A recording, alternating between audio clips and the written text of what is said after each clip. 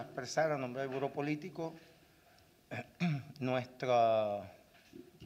pesar y nuestra, nuestro repudio más profundo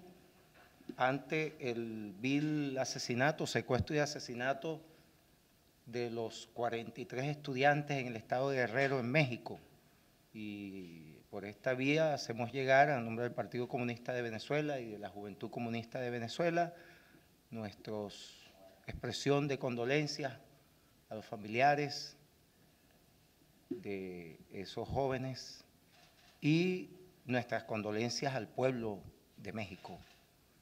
Y por supuesto somos mm, parte de todas las organizaciones populares, revolucionarias, progresistas y a todos los pueblos del mundo que exigen y exigimos justicia, que se investigue de manera exhaustiva y profunda lo que allí ha sucedido y se determinen las responsabilidades, sea quien sea,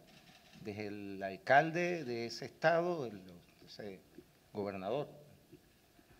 de gobernantes de ese estado, hasta el propio, las más altas autoridades del gobierno mexicano. Incluso hay familiares que dicen que, que posiblemente permanecen con vida esos estudiantes. Bueno, incluso los elementos que, que pudieran indicar esa situación deben ser también investigados y determinarse cuál es la verdad de ese asunto. Un hecho repudiable que tiene mucho que ver con el poder criminal de las mafias del narcotráfico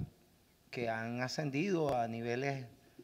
eh, de gran capacidad de destrucción y de daño pues, a los pueblos de América Latina, como en este caso en México.